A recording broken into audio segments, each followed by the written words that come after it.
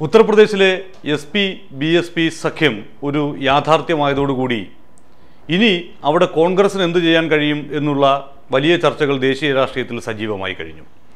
കോൺഗ്രസ് ദേശീയ തലത്തിൽ തന്നെ എസ് പിയും ബി എസ് പിയും ഒരു അനിവാര്യ ഘട്ടമുണ്ടായാൽ തങ്ങളോടൊപ്പം നിൽക്കും എന്ന് പ്രതീക്ഷിക്കുമ്പോൾ പോലും ഉത്തർപ്രദേശിൽ തങ്ങളെ കൂട്ടാതെ എസ് പിയും ബി എസ് പിയും ഒരു സഖ്യം ഉണ്ടാക്കുകയും ആ സഖ്യം പ്രഖ്യാപിച്ചുകൊണ്ടുള്ള വാർത്താസമ്മേളനത്തിൽ കോൺഗ്രസിനെ നിശിതമായി വിമർശിക്കുകയും ചെയ്തത് ഉത്തർപ്രദേശിലെ കോൺഗ്രസ് നേതാക്കൾക്കിടയിൽ വലിയ അമർഷത്തിന് കാരണമായിട്ടുണ്ട്. അതുകൊണ്ട് തന്നെ ഒരു വിട്ടുവീഴ്ചയ്ക്കും തങ്ങൾ തയ്യാറല്ല എന്നും എല്ലാ മണ്ഡലങ്ങളിലും മത്സരത്തിന് തയ്യാറെടുക്കുകയാണ് എന്നുമാണ് കോൺഗ്രസിന്റെ സംസ്ഥാന നേതൃത്വം വ്യക്തമാക്കുന്നത്.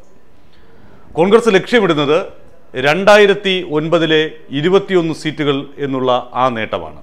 രണ്ടായിരത്തി നാലിലെ പൊതു തെരഞ്ഞെടുപ്പിൽ ഒൻപത് സീറ്റിൽ ഒതുങ്ങിപ്പോയിരുന്ന കോൺഗ്രസ് രണ്ടായിരത്തി ഒൻപതിൽ അത്യുജ്വലമായി അവിടെ തിരിച്ചു വരികയുണ്ടായി അന്ന് സമാജ്വാദി പാർട്ടി ഇരുപത്തിമൂന്ന് സീറ്റുകൾ നേടിയപ്പോൾ ഇരുപത്തിയൊന്ന് സീറ്റ് നേടി രണ്ടാം സ്ഥാനത്തെത്താൻ കോൺഗ്രസിന് കഴിഞ്ഞു. ബി ജെ പിക്ക് പത്ത് സീറ്റുകളാണെന്ന് നേടാൻ സാധിച്ചത്. ബഹുജൻ സമാജ്വാദി പാർട്ടിക്ക് പതിനേഴ് സീറ്റുകൾ നേടാൻ സാധിച്ചു.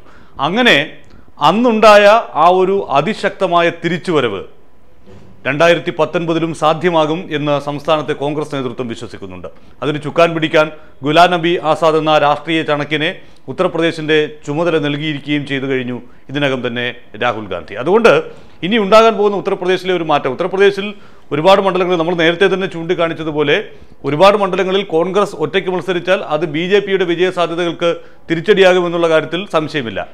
കോൺഗ്രസിന് അവിടെ ഇപ്പോഴും പരമ്പരാഗത വോട്ട് ബാങ്കുകളുള്ള മുന്നോക്ക സമുദായം ബ്രാഹ്മണ സമുദായം അടക്കമുള്ളവരെ കൂടെ നിർത്താൻ സാധിക്കുമെന്നാണ് പാർട്ടിയുടെ സംസ്ഥാന നേതൃത്വം ഇപ്പോൾ കരുതുന്നത്. കാരണം ഈ അയോധ്യ വിഷയം ഉൾപ്പെടെയുള്ളവയിൽ ബി ജെ പിയോട് പിണങ്ങി നിൽക്കുന്ന മുന്നോക്ക സമുദായക്കാരുണ്ട്. അപ്പോൾ അവരെ ഇത്തവണ തങ്ങളുടെ തട്ടകത്തിലേക്ക് കൊണ്ടുവരാൻ സാധിക്കും.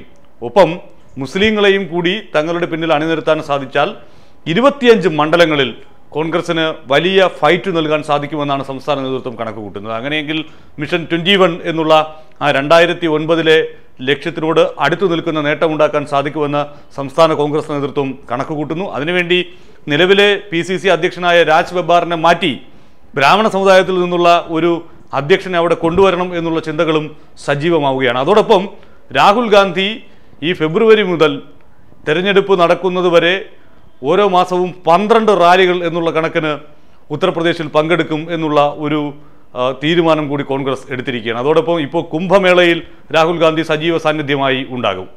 ഉത്തർപ്രദേശിൽ ക്ഷേത്ര സന്ദർശനങ്ങളുടെ മധ്യപ്രദേശിലും രാജസ്ഥാനിലും ഛത്തീസ്ഗഡിലുമൊക്കെ അദ്ദേഹം എങ്ങനെയാണോ തെരഞ്ഞെടുപ്പ് റാലികൾക്ക് നേതൃത്വം നൽകിയത് അതുപോലെ ക്ഷേത്ര സന്ദർശനങ്ങളടക്കമുള്ള പരിപാടികൾ കർഷകരുമായി അടുത്തിടപഴകിക്കൊണ്ടുള്ള പരിപാടികൾ. അത്തരത്തിൽ ഉത്തർപ്രദേശിൽ ഹിന്ദി ഹൃദയഭൂമിയിൽ കോൺഗ്രസ് നേടിയ ആ വിജയം ആവർത്തിക്കുന്ന തരത്തിലുള്ള ഇടപെടലുകൾ രാഹുൽ ഗാന്ധിയെ കൊണ്ട് നടത്തിപ്പിക്കുക എന്ന തീരുമാനത്തിലേക്ക് വരുന്നു.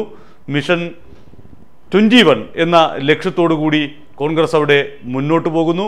രണ്ടു സീറ്റുകളിൽ റായ്ബറേലിയിലും അമേത്തിയിലും സ്ഥാനാർത്ഥികളെ നിർത്തില്ല എന്ന B J P S P സഖ്യത്തിന്റെ പ്രഖ്യാപനത്തിന് തിരിച്ച് ഒരു നന്ദി സൂചകം എന്നോണം അഖിലേഷ് യാദവും മായാവതിയും മത്സരിക്കുകയാണെങ്കിൽ അവരുടെ സീറ്റുകളിൽ ഞങ്ങളും സ്ഥാനാർത്ഥികളെ നിർത്തില്ല എന്ന് കോൺഗ്രസ് പ്രഖ്യാപിക്കുന്നു. എന്തായാലും നഷ്ടപ്പെട്ടു പോയ ആ പ്രതാപം വീണ്ടെടുക്കാൻ ഈ ഛത്തീസ്ഗഡിലും മധ്യപ്രദേശിലും പതിനഞ്ച് വർഷത്തിനു ശേഷം അതിശക്തമായി തിരിച്ചു വരാമെങ്കിൽ എന്തുകൊണ്ട് ഉത്തർപ്രദേശിൽ പത്ത് വർഷം മുമ്പ് നേടിയ ആ നേട്ടം ആവർത്തിച്ചുകൂടാ എന്നുള്ള ചോദ്യം അവിടുത്തെ പ്രാദേശിക കോൺഗ്രസ് നേതാക്കൾ ചോദിക്കുന്നു. രാഹുൽ ഗാന്ധിയെ മുൻനിർത്തിയുള്ള പ്രചരണത്തിലൂടെ അതിന് സാധിക്കുമെന്ന് അവർ കണക്ക് കൂട്ടുകയും ചെയ്യുന്നു.